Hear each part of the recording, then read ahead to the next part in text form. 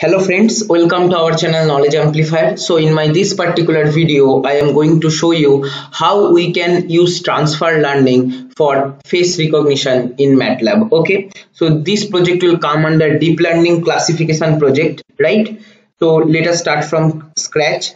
First CLC, clear all, close all, CLC so what I have done in my previous video, I have already uploaded a separate video for the demonstration purpose face recognition project in MATLAB using transfer learning with complete code. So how to use this code let me first discuss.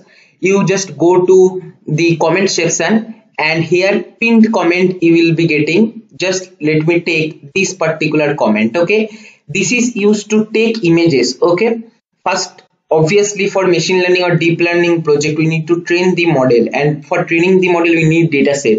And for data set purpose for capturing the image okay data collection part I, this, this code is there.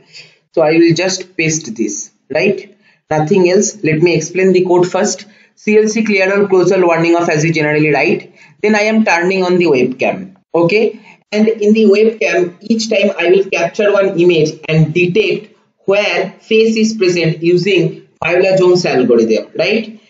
I am going to train my model for five, 150 images for different faces, right? 150 image for one face, 150 image for another face like that.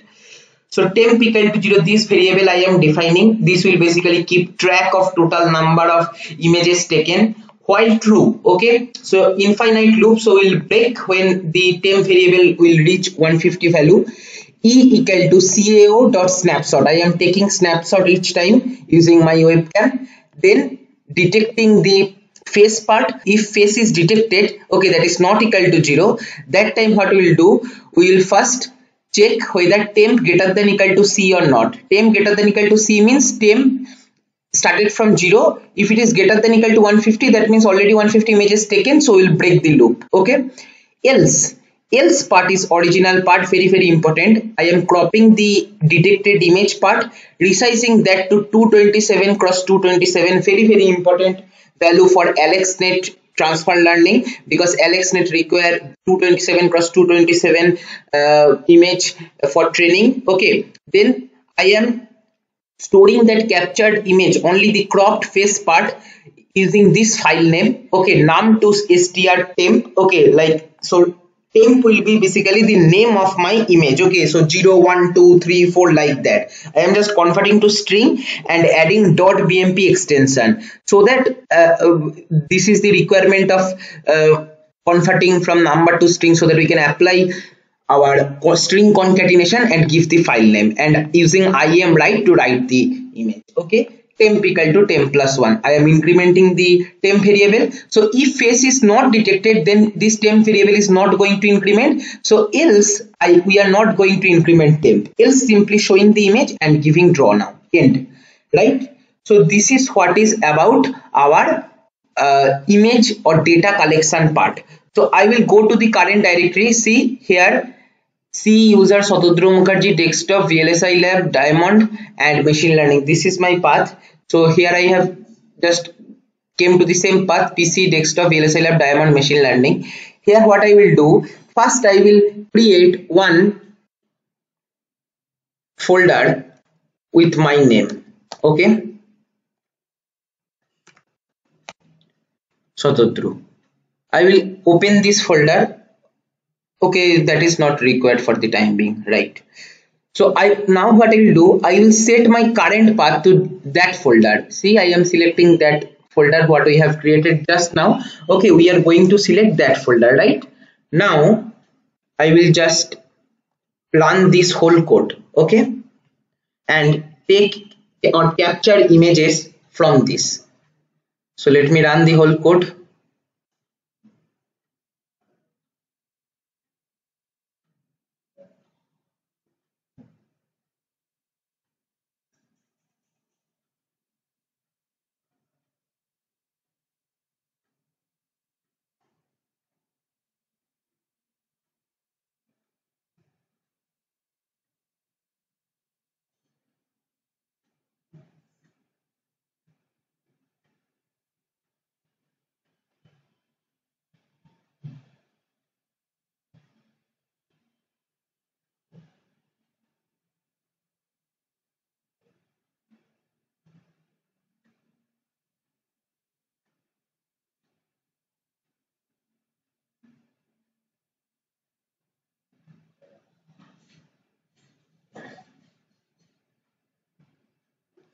So my 150 image for my face is captured. So my face part data collection is done right?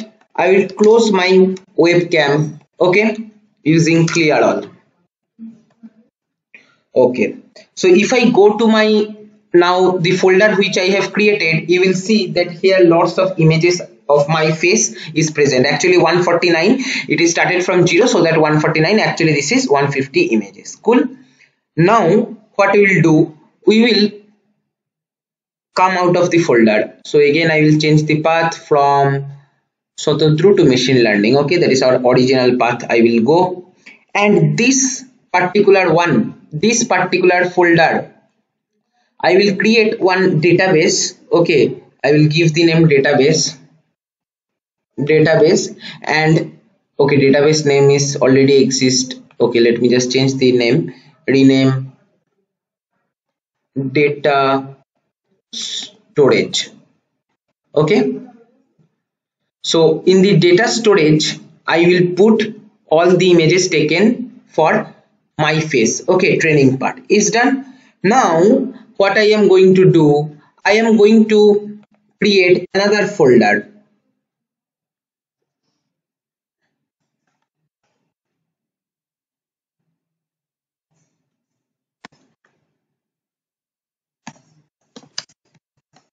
with the name Shahrukh Khan okay so now what we are going to do we are going to capture images or face of Shahrukh Khan and going to store in this folder.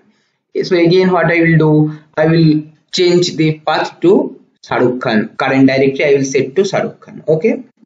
Now I, I have downloaded one image from internet. And here let me just keep that image in front of my webcam and run the whole code so that it can collect the data. Okay? Control a evaluate selection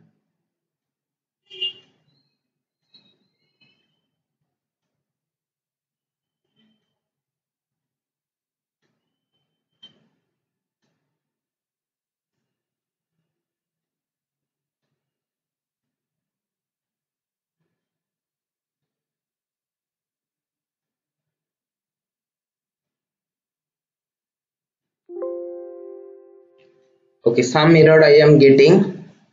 Let me just clear this and okay this kind of thing might happen. Okay see some images has not came actually. So what I will do control a and delete all this okay? And then again run the whole code so that it will work this time properly. Control a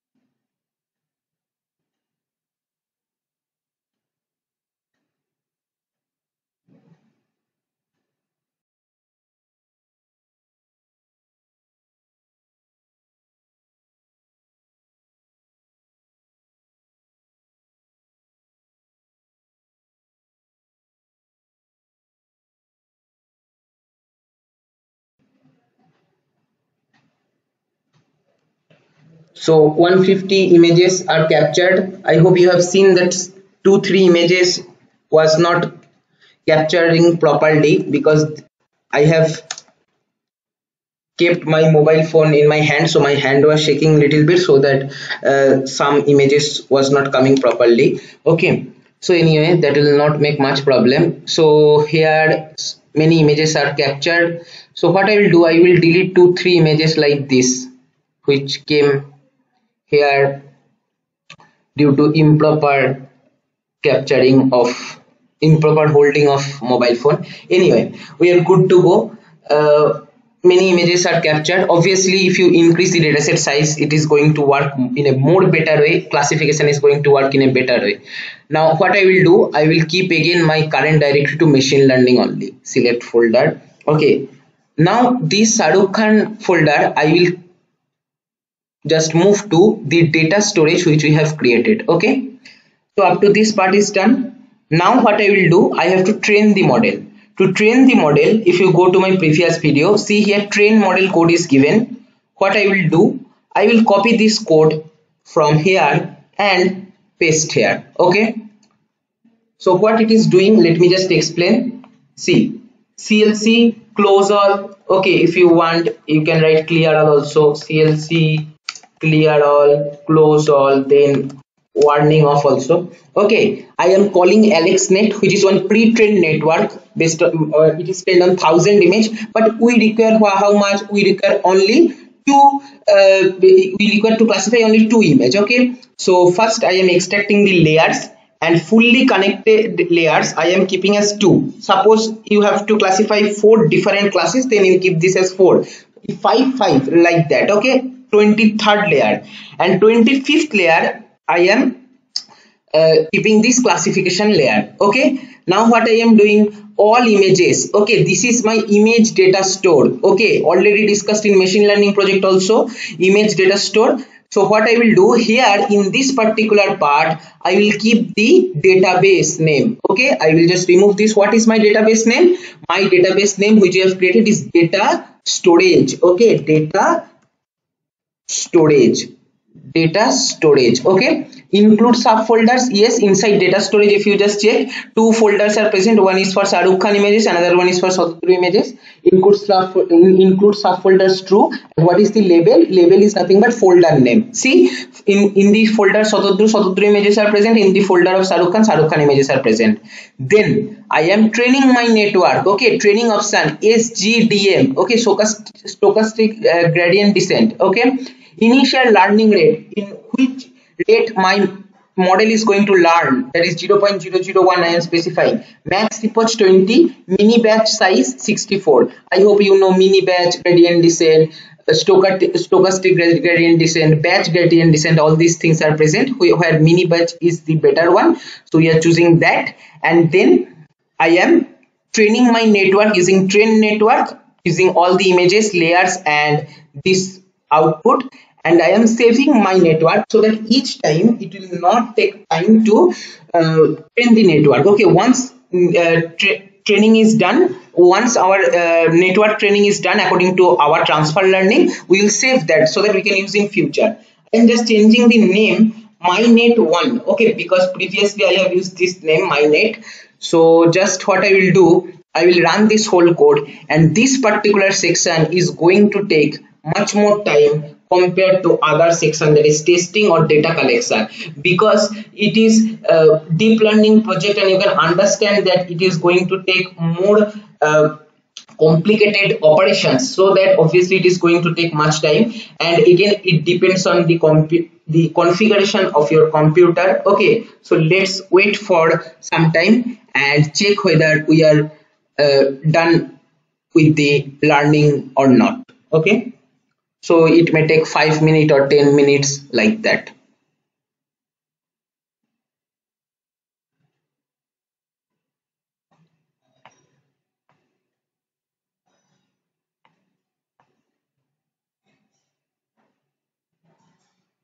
So see training on single GPU started. Epoch iteration time how much taken mini batch accuracy loss okay base learning rate all these information data you will be getting slowly by slowly right? So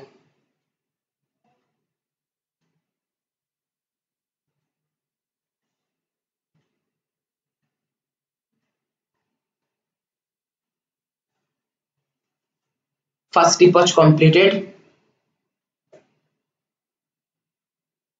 It is going on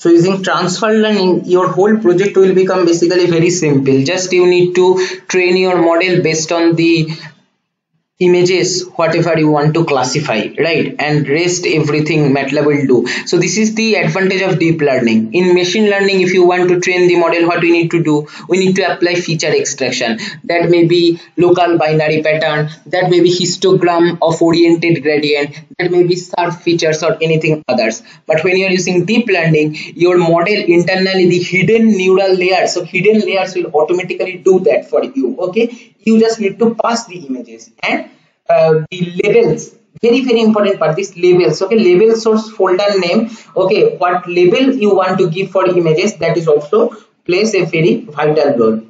So here by this time our second epoch also completed okay? So it is it almost reach 100 percent accuracy. Obviously in deep learning you will be getting good accuracy. That's why from machine learning we uh, if we want uh, better accuracy instead of machine learning we go for deep learning. But the problem is that it require more resources and huge data set for training. Okay because we are not specifying the rules. It is going to learn by itself. So obviously it is quite clear that it require more huge data set. If huge data set accuracy will be high otherwise low. Okay? Like here i have taken 150 images. If you want to increase the accuracy then you should uh, uh, take at least maybe 1000 2000 images. And obviously it is going to take more time during that training also. So here our training is completed. Now it is saving the network. Okay my net one which we are going to use for testing purpose in the next few seconds. Okay let's see how much time it takes more. Okay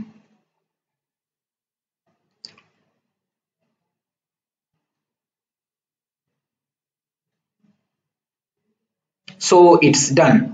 Right. Now I will create another editor window and what I will do I will do testing. So for testing model see here I have given the code. Okay. Just copy this same code. Okay. That's why I am giving the code so that you no need to uh, waste much time for writing the code. You just understand the code and modify according to your own requirement. Clc close clear. C equal to webcam. I am turning on the webcam. Load mynet1 okay? Because we have created here mynet1 we have saved that. C here you will be getting mynet1 in the current folder right?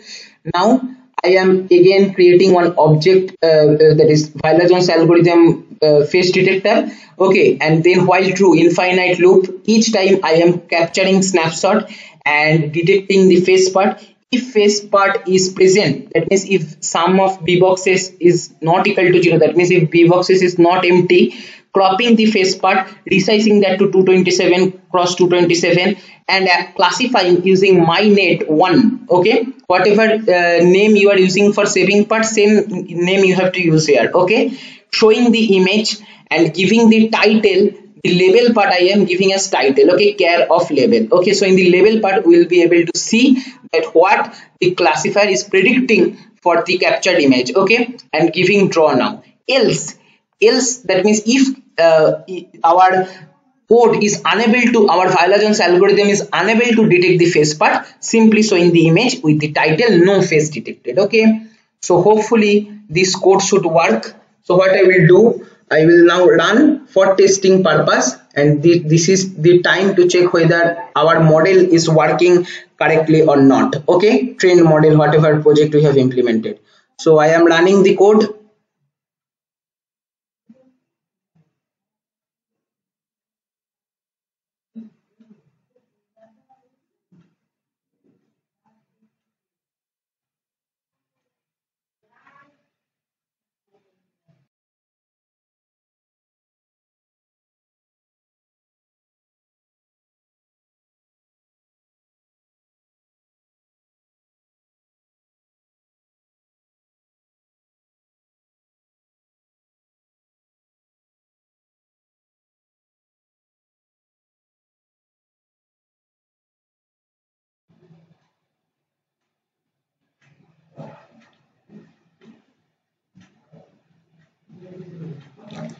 so i hope you have seen that we have got pretty much good accuracy.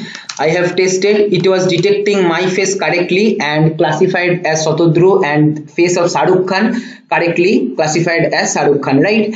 And one more thing point to be noted here one image which I have used for training apart from that also one image another uh, different image I have taken from internet from for Shahrukh Khan face and that also it was able to detect correctly right? So our model has a pretty good accuracy. Now you can play with this. So transfer learning is a very helpful concept. Just you need to uh, adjust two three layers of your whole network okay? Here like here we are using AlexNet okay? Similar to that different networks are present. You can explore more from MathWorks documentation. So this is a very interesting project for classification point of view. This is what I wanted to show you. This is face recognition and I hope you can understand what is the importance of this okay? Either uh, for security purpose if you consider or maybe anything else. In daily life many places we use this okay so you can try with this play with this have fun right? Code again i will post in the description box and in the comment section. So this is all for my this video. Thank you for watching